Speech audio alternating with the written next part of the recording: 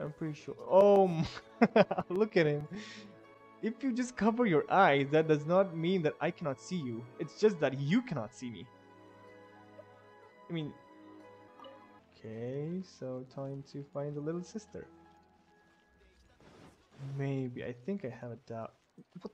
Chongyun just he's just standing there. He's even he isn't even hiding. What's up with Chongyun? Okay, now we just need to find the little sister.